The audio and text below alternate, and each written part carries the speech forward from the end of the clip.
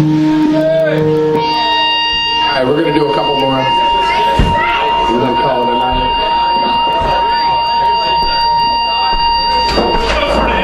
If you have a girl problems, I feel bad for you, son. Got 99 problems, but a bitch.